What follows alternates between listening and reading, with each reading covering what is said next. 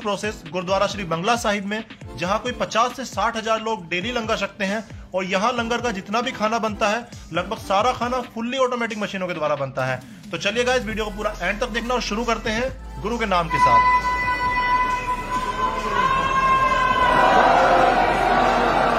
जो आप देख रहे हैं, ये आलू छिलने की मशीन है।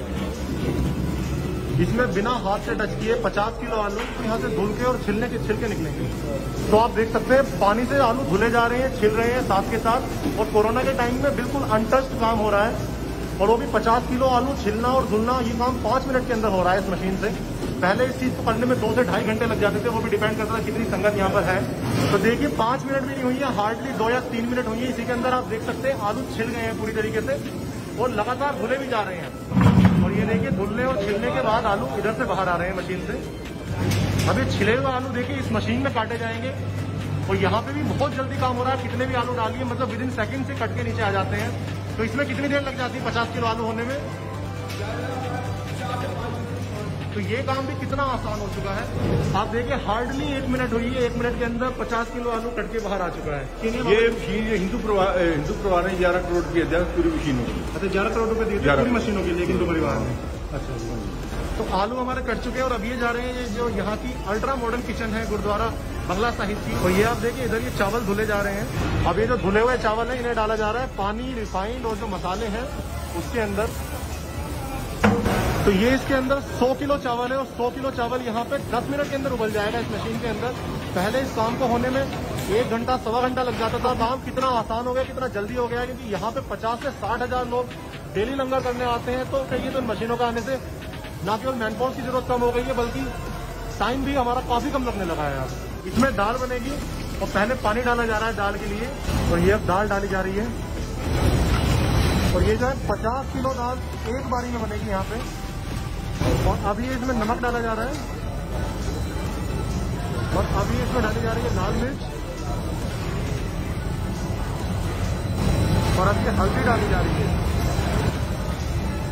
और अभी इसे बंद किया जाएगा। ये दाल अब इसमें पकती रहेगी 20-25 मिनट तक। तो ये जो आप देख रहे हैं, इसके अंदर 50 किलो आटा जाएगा। 50 किलो आटा 20 मिनट के अंदर गुंज जाएगा ऑटोमेटिकली अगर आप खुद सोचिएगा, नो हाथों से आटा गूंदने बैठ जाए 50 किलो तो कितनी देर लगेगी?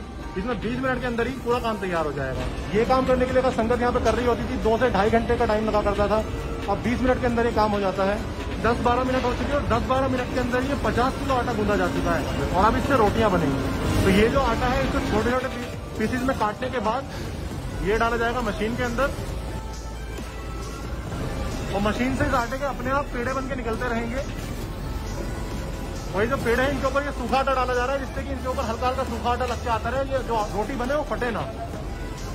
और ये देखिए पेड़ों की अपने आप इधर रोटियाँ बनती हुई निकल रही हैं। तो यहाँ तक जो रोटी आ रही है, वो हल्की सी मोटी है, यहाँ पे थोड़ी और पतली होकर देखिए, बिल्कुल परफेक्ट रोटी की शेप बन के निकलेगी इधर। और ये जो रोटियाँ हैं, ये फिर उसके बाद जाएँगी यहाँ पे गैस में, और आप देख सकते हैं, पहले रोटी उधर से आएगी, वहाँ सीखेगी हल्की सी आँच लगेगी, यहाँ पे आँच लगेगी, फिर नीचे आएगी, यहाँ पे आँच लगेगी और बिल्कुल फूल के रोटी तैयार होगी ये देख लीजिए आप देख सकते हैं बिल्कुल फूली हुई रोटियाँ निकल रही हैं। और जो रोटियाँ हैं वो सिक्के अपने आप इधर से निकलती रहेंगी। ये मतलब कितनी रोटियाँ निकल जाती हैं इसमें? एक घंटे में चार हज़ार। एक घंटे में चार हज़ार रोटियाँ। तो ये देखिए इधर से एक घंटे में चार हज़ार रोटियाँ निकल सकती हैं। तो कितना मतलब टाइम सेव हो जाता है। और ये इन पे घी लगता रहेगा इधर। और घी लगने के बाद ये रोटियाँ आ रही हैं इधर जहाँ से डायरेक्ट संगत के पास चली जाएँगी लंगर में। और इधर ये बन रहा है आलू सोयाबीन, इसमें ग्रेवी डाली गई है। पहले मिर्च डाली है और अब ये डाली जाएगी इसमें हल्दी। और अब इसमें नमक डाला जा रहा है, ये देखिए। अब ये देखिए, अब इसमें सोयाबीन डाला जा रहा है। तो कोई 10 मिनट हो गई है और देखिए, सोयाबीन जो है बढ़िया तरीके से पक चुकी है आलू डाला जा रहा है। तो ये जो आप देख रहे हैं, इसमें लगभग 50 किलो आलू है 20 किलो करीब इसमें सोयाबीन है और पानी भी तीस पैंतीस किलो जाएगा। तो बनने के बाद ये 100 किलो से ज़्यादा सब्ज़ी तैयार हो जाएगी। ये साढ़े तीन सौ किलो दाल एक ही बारी में बनी है यहाँ पे फुल्ली ऑटोमेटिक तरीके से।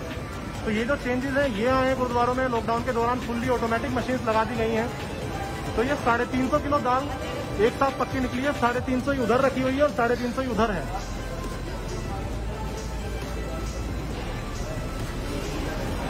और ये दाल ढककर सीधा जाएगी लंगर में संगत के लिए।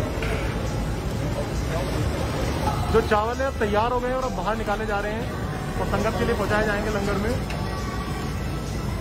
और इधर देखिए, दाल के निकलते ही जो ये बड़े वाला जो बर्तन है, दाल बनती है जिसमें ये साफ़ किया जा रहा है, एकदम से धुला जा रहा है। तो साफ़ सफ़ाई का कितना ज़्यादा ख्याल रखा जा रहा है। और ये जो हमारी आलू सोयाबीन की सब्ज़ी है, देखिए तैयार हो चुकी है। कोई पचास से साठ हज़ार आदमी डेली लंगर करते हैं यहाँ पे। तो सब्ज़ियाँ, दाल, चावल, रोटी लगातार बनती रहती है।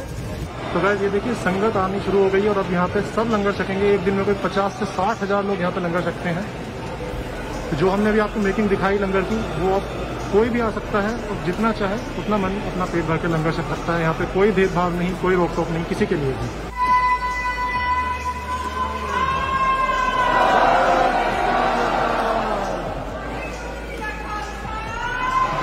गुरु जी की फतेह। पता था वाहे गुरु।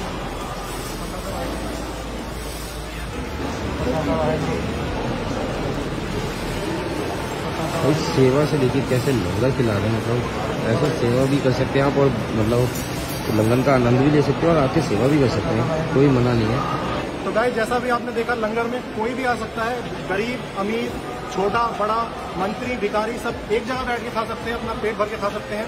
बस एक आप लोगों से मेरी दरख्वास्त है, गुजारिश है जब आप लंगर करने आए, बस खाना आप वेस्ट ना करें, उतना ही खाना नहीं, जितने की आपको ज़रूरत है। अगर आप खाना वेस्ट कर रहे हैं वो आप समझिए किसी और के हिस्से का खाना आप डस्टबिन में डाल रहे हैं तो बस यही मेरी आपको गुजारिश है बाकी मेरे को उम्मीद है कि आपको ये वीडियो अच्छी लगी होगी अगर आपको वीडियो अच्छी लगी हो तो अपने दोस्तों के साथ शेयर कीजिए और एक बार जोर से बोल दीजिए जो बोले सो निहार सत श्री अकाल ਬੰਗਲਾ ਸਾਹਿਬ ਗੁਰਦੁਆਰੇ ਵਿੱਚ ਲੱਖੋਂ ਯਾਤਰੀ ਆਉਂਦੇ ਨੇ ਲੱਖੋਂ ਸੰਗਤ ਆਉਂਦੀ ਹੈ ਪਿਆਰ ਨਾਲ ਲੰਗਰ ਪ੍ਰਸ਼ਾਦਾ ਛਕਦੀ ਹੈ ਇਹ ਸਿਰਫ ਧੰਨ ਸ਼੍ਰੀ ਗੁਰੂ ਨਾਨਕ ਦੇਵ ਜੀ ਦੀ ਮਹਾਨ ਕਿਰਪਾ ਹੈਗੀ ਹੈ ਮਹਾਨ ਕਿਰਪਾ ਹੈ ਉਹਦੇ ਨਾਲ ਇਹ ਲੰਗਰ ਅੱਜ ਵੀ ਚੱਲ ਰਿਹਾ ਹੈ ਔਰ ਸਦੀਆਂ ਤੱਕ ਚੱਲਦਾ ਰਹੇਗਾ। ਕੋਈ ਕਮੀ ਨਹੀਂ ਗੁਰੂ ਦੇ ਘਰ ਵਿੱਚ। ਵਾਹਿਗੁਰੂ ਜੀ ਦਾ ਖਾਲਸਾ, ਵਾਹਿਗੁਰੂ ਜੀ ਦੀ ਫਤਿਹ।